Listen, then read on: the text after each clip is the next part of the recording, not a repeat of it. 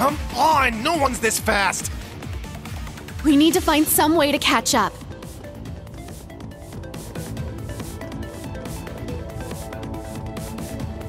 Instructor, this direction is. I know. We've gone too far south. This is clearly out of city bounds.